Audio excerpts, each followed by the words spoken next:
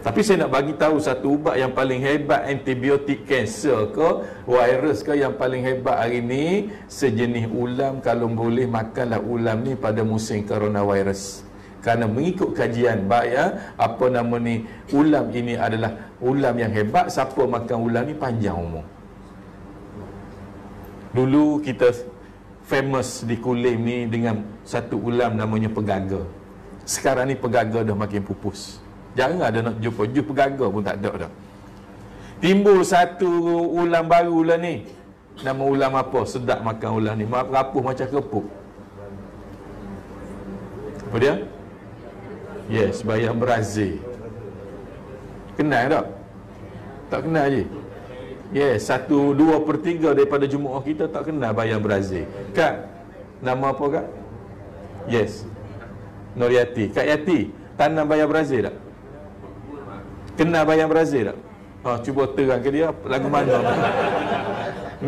lagu mana pokok bayam Brazil ni? Ha. Nah, dia Google tu. Kalau ni mudah ustaz Google ada cari dah. Jumpa je. Kenal tak? Banyak kedai tak? Yes, banyak. Hmm.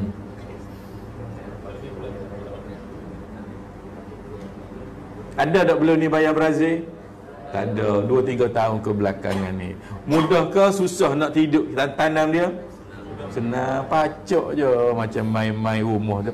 Kabar-kabar hidup biok dah. Makanlah bukan kena bayar mahal pun. Ne? Saya nak cerita baru ni saya ceramah di Kemaman Terengganu di Felda Air Putih. Apabila tengok saya ceramah masuk seorang manusia lima langkah dia masuk dalam masjid saya kata Pak Cik berhenti sekejap. Dia pun berhenti. Ada apa Ustaz? Atas belakang saya ada jin ke? Saya kata tak saya nak tanya Cik. Tolong jawab dengan ikhlas.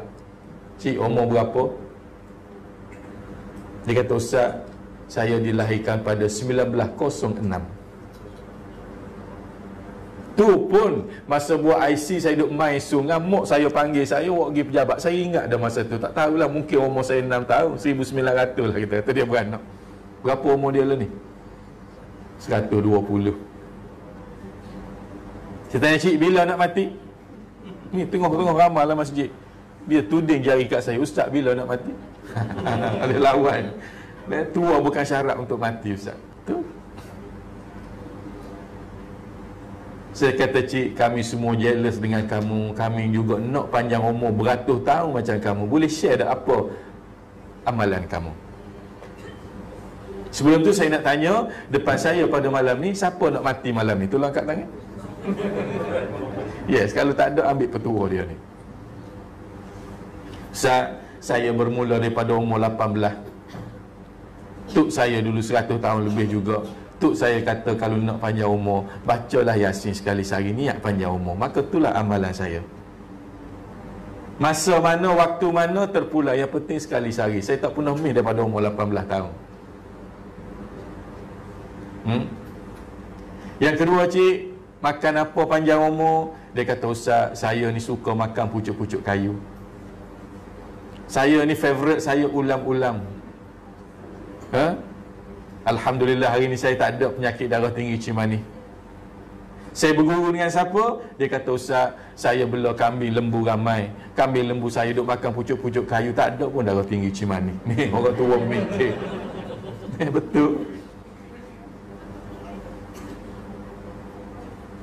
Saya kata cik, ha?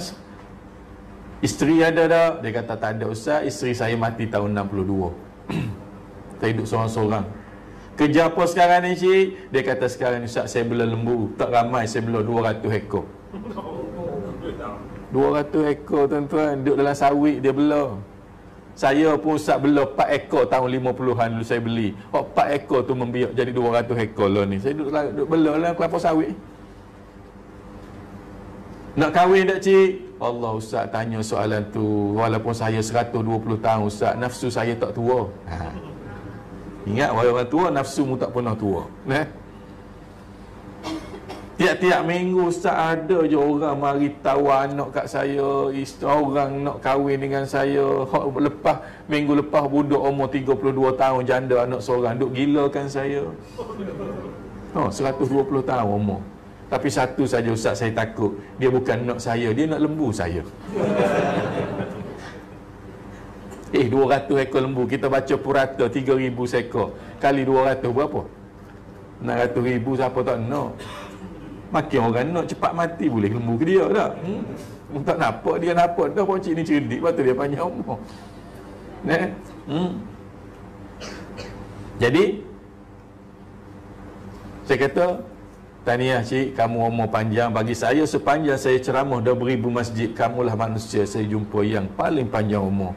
1906 Saya tengok IC dia 1906 Dia kata masa buat IC dia dah ingat Mak dia pergi tangkap dia dalam sungai Dia tengah mandi telanjang ha? Bawa pergi ke pejabat pendaftaran kita katalah 1900 dah 120 tahun respinya apa panjang umur yang pertama baca yasin yang kedua makan ulam-ulam yang kita tanam itu lagi mujarab eh? hmm.